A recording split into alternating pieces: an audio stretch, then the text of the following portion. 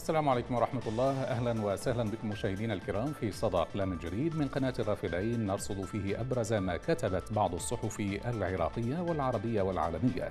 ونبدأ من أهم العناوين. نقرأ في صحيفة المدى إقليم كردستان يسلم بغداد مئات المطلوبين قضائيا.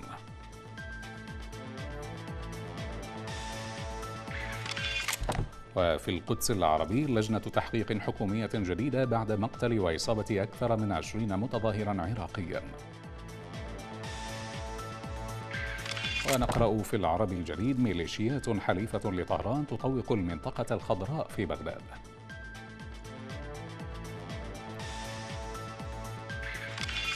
أما في الشرق الأوسط إردوغان يقول إن لقاءه مع بايدن في, في يونيو قد يشكل انطلاقة جديدة. في العربي 21 الاحتلال يعتقل 250 فلسطينيا بالداخل المحتل خلال يومين. في الجارديان سوريا تدخل الانتخابات بعد تحولها لدولة عصابات والأسد هو توني سوبرانو الشرق الأوسط. وأخيرا في اللوموند السلطات الإيرانية تغلق لعبة الانتخابات الرئاسية لفسح المجال أمام مرشحيها المفضل.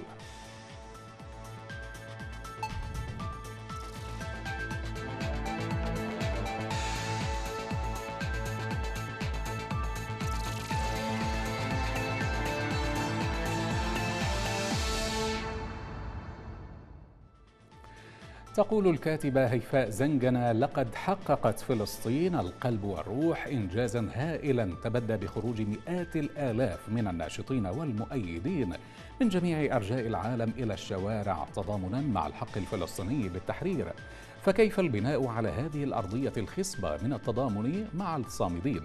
كيف نسقي النبتة لتنمو وتتبرعم وتزدهر؟ كيف نجنبها الجفاف؟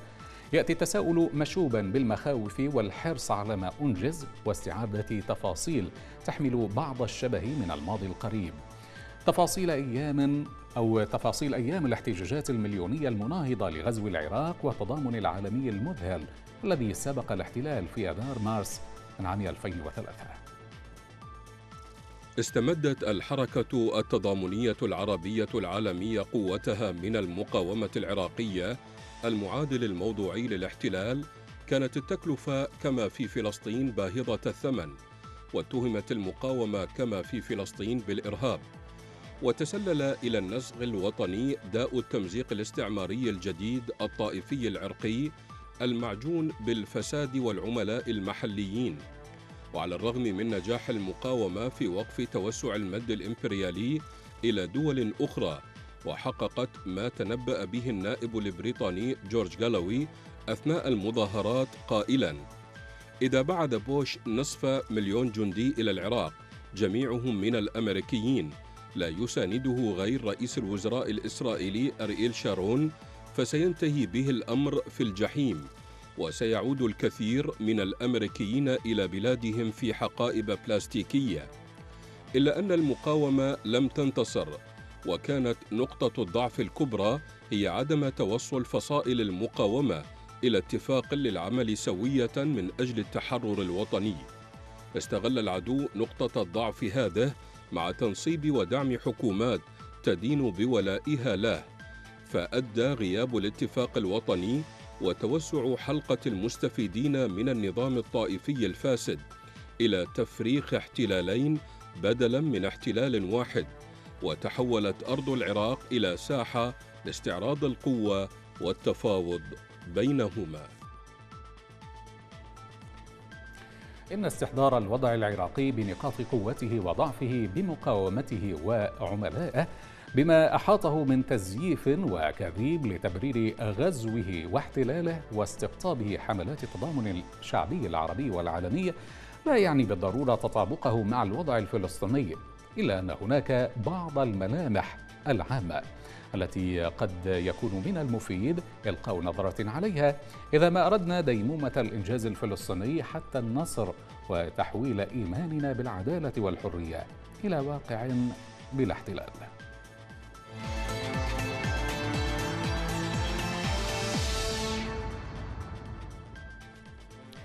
هناك إصرار من المحور الإيراني على المتاجرة بشعارات دعم الفلسطينيين رغم افتضاح زيفها.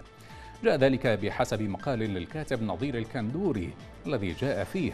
نجد أن هناك من يتاجر بالشعارات التي تدعو لنصرة الفلسطينيين ويدعون أنهم من مقاومي الكيان الصهيوني ويزايدون على الأحرار من العرب والمسلمين في وطنيتهم وولائهم الإسلامي من خلال تسخير آلتهم الإعلامية حتى يدلسوا على العالم ويظهروا أنفسهم بأنهم هم الوحيدون الذين يقفون إلى جانب النضال الفلسطيني رغم أن الجميع يعلم بأن تلك الجهات ومن يرعاها في طهران لم تطلق حتى رصاصة واحدة ضد المحتل الصهيوني. الجميع يعلم بأن مساندة إيران الإعلامية لنضال الشعب الفلسطيني. ما هي إلا دعاية إعلامية تريد منها التقرب للشعوب العربية والإسلامية لتسويق نفسها عندهم لأنها تعرف أكثر من غيرها أنها مرفوضة بأفكارها الطائفية والتوسعية لكنها أيضا تعرف مدى تأثر تلك الشعوب بقضية فلسطين ومقدساتها الإسلامية. وبالتالي فهي تريد الاستفادة من تلك المساندة الفارغة لتجني ثمارها بزيادة نفوذها في المناطق العربية والإسلامية. ومع الأسف فقد انطلت أساليب الخداع الإيرانية على شريحة ليست بالقليلة من شعبنا العربي والإسلامي. وظنوا أن المحور الإيراني هو بالفعل ضد الكيان الصهيوني ومع حقوق شعبنا الفلسطيني العادلة. لكن وبعد اندلاع ثورة سوريا وانحياز المحور الإيراني وميليشياته العراقية واللبنانية لدعم نظام الأسد ضد شعبه ومن قبلها حربهم الطائفية التي أشعلوا نارها في العراق. انكشف زيفهم بحيث وصلنا إلى مرحلة لم يعد هذا المحور يجد من يتبنى آراءه وأكاذيبه سوى من يقوم بأمر الدعاية له من جيوش إلكترونية تابعة له تنشط على مواقع التواصل الاجتماعي. إن الكثير من الشعوب العربية والإسلامية تعيش في ضيم وقهر واستبداد لا يقل في قسوته عما يعانيه شعبنا الفلسطيني حتى تحت الاحتلال أو تحت الاحتلال الصهيوني. ورغم ذلك إذا ما أرادت تلك الشعوب مساندة القضية الفلسطينية ونضال, ونضال شعبها فالساحة لهذه المساندة كبيرة وواسعة.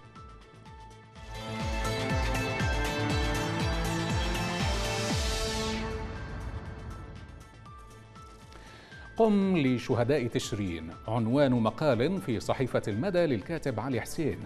نتأمل الصور التي ازدحمت بها مواقع التواصل الاجتماعي لتظاهرات لتظاهرات من قتلني والتي تطالب بالكشف عن قتلة متظاهري تشرين. وندقق جيدا في هذه اللحظة التي تتشابك فيها أيدي شباب أيدي شباب الناصرية مع فتيان الأعظمية. وأصوات متظاهري بابل تختلط بأصوات محتجي كربلاء.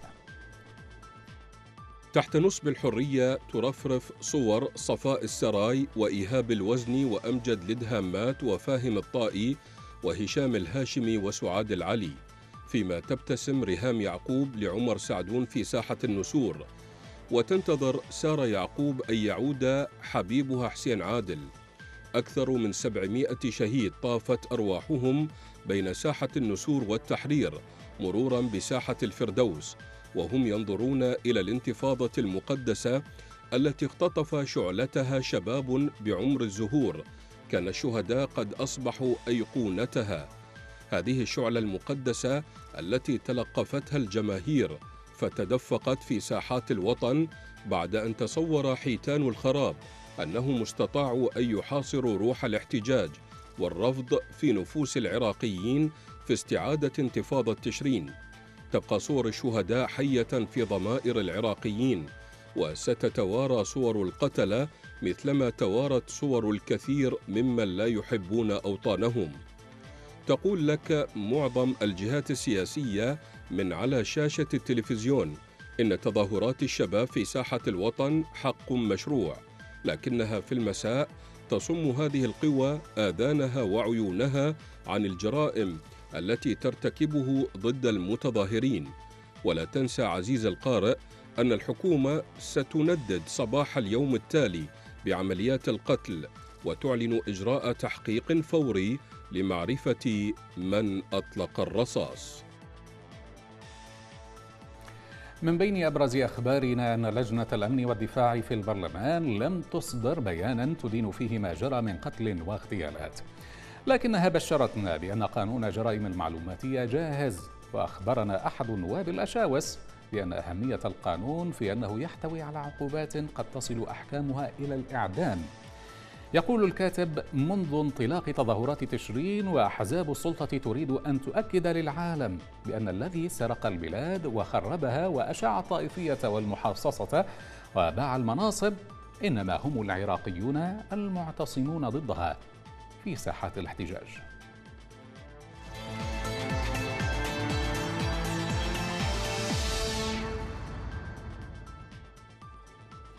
وإلى تقرير لمركز العربي للأبحاث ودراسة السياسات تناول فيه الهبة الشعبية في مناطق الثمانية وأربعين المحتلة أسبابها وتداعياتها.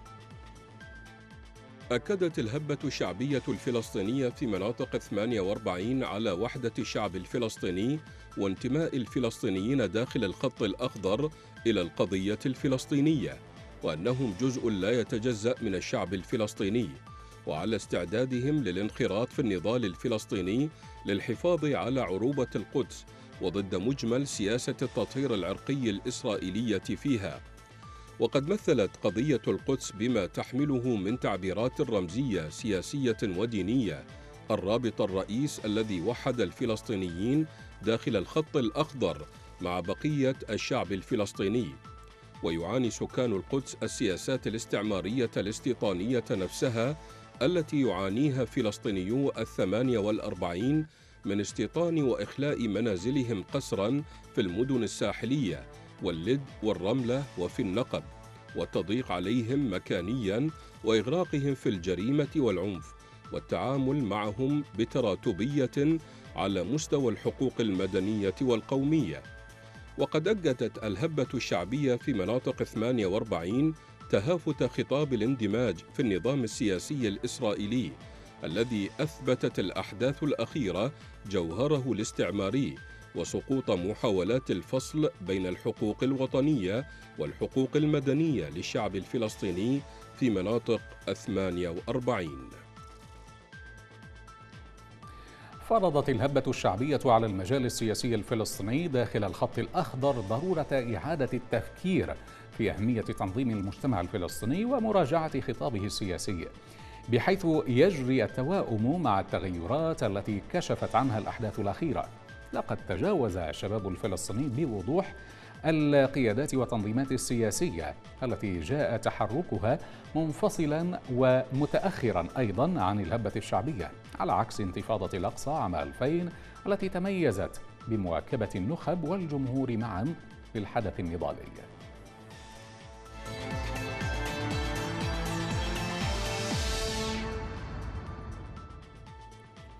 نشرت صحيفة ديلي تيليغراف مقالا للخبير بالمجلس الأطلنطي جوناثان فيرزيجر قال فيه إن الصور من غزة عن الأبراج التي سويت بالتراب والأطفال الذين علقوا أو علقوا وسط الهجمات ولدت معظم الغضب العالمي.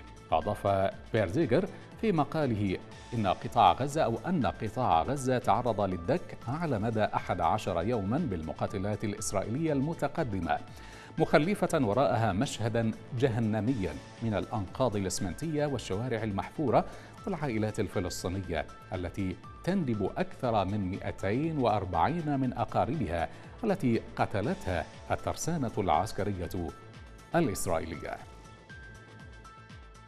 برز قادة هذه المنطقة الصغيرة التي تسيطر عليها حماس كأبطال محليين وأظهروا قدرة على إلحاق الضرر بإسرائيل عبر آلاف من الصواريخ ما دفع لإعادة النظر بتأثيرهم الدولي حسب فريزجر الذي قال إنه لو تم عقد الانتخابات الملغاة وكانت مقررة في الثاني والعشرين من أيار مايو مرة أخرى فإن رئيس السلطة الوطنية محمود عباس سيبدو مهزوما وحماس المنتصرة والمسيطرة على البرلمان. وشدد على أن إعلان رئيس الوزراء الإسرائيلي بنيامين نتنياهو وقائمة من الجنرالات عن نهاية المهمة حيث دمروا كل شيء على قائمتهم من شبكات الأنفاق وراجمات الصواريخ وغير ذلك ما هي إلا مجرد كلام فارغ. إن وراء توليد معظم الغضب الدولي هو عدد القتلى غير المتكافئ والأبراج التي انهارت في غزة بسبب القنابل الإسرائيلية والأطفال الذين علقوا وسط الهجمات. وختم فيرزيغر بالقول إنه رغم الدمار الذي حل بغزة لكن سكانها فخورون بأن ينظر إليهم أو بأن ينظر إليهم كحماة للهوية الفلسطينية. وشعر أقاربهم في الشتات بالإعجاب من قدرة غزه الضعيفه على الانتقام من إسرائيل التي انتهكت قداسة المسجد الأقصى.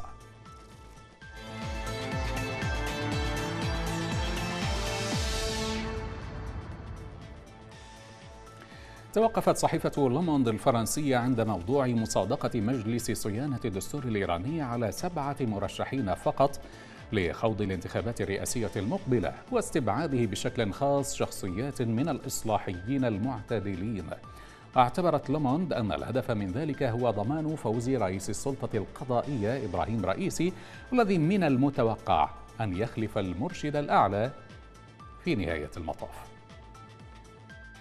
تم استبعاد كل من كان من الممكن أن يوقف المرشح المفضل للمحافظين المتطرفين رئيس السلطة القضائية الشخصية المركزية المتورطة في جميع الحالات الكبرى لانتهاكات حقوق الإنسان في إيران والذي يبدو أنه في طريقه إلى أن يصبح الرئيس المقبل للبلاد.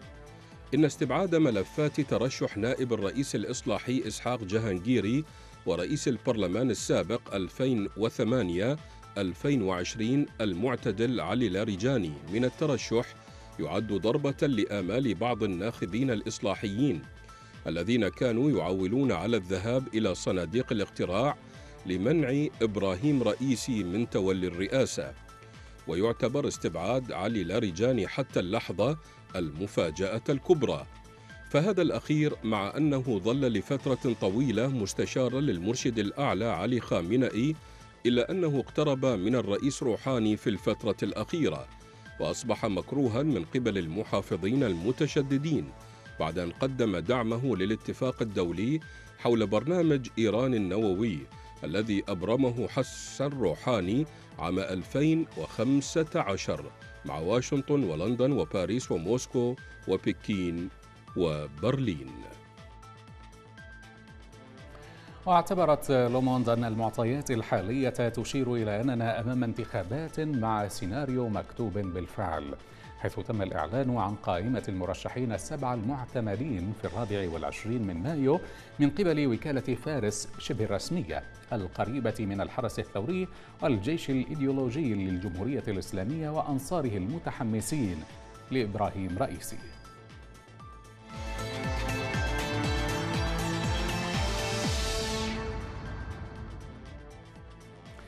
على أنقاض صالونه المدمر في العدوان الإسرائيلي الأخير على قطاع غزة. يواصل الشاب الفلسطيني هاشم الجاروشة 33 عاما يواصل ممارسة مهنة الحلاقة مصدر رزقه الوحيد. وبعد توقف أو بعد وقف إطلاق النار بين غزة وإسرائيل قرر الجاروشة وضع كرسي ومرآة والقليل من أدوات الحلاقة فوق ركام صالونه شمال مدينة غزة. ليتمكن من ممارسة مهنته التي تعتبر شريان الحياة له ولعائلته. ويأمل الجاروش الأب لطفلين أن يعيد بناء صالونه في أقرب وقت لكي يتمكن من إعالة عائلته وعائلات العمال الذين كانوا يرافقونه في عمله.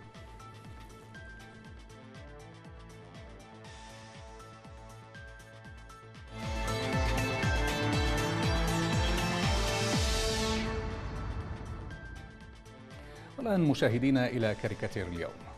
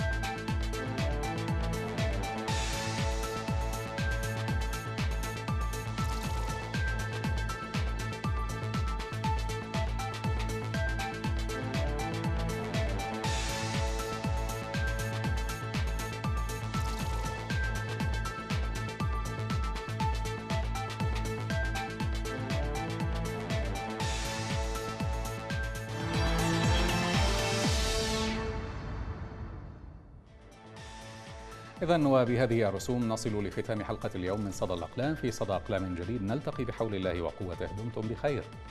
إلى اللقاء.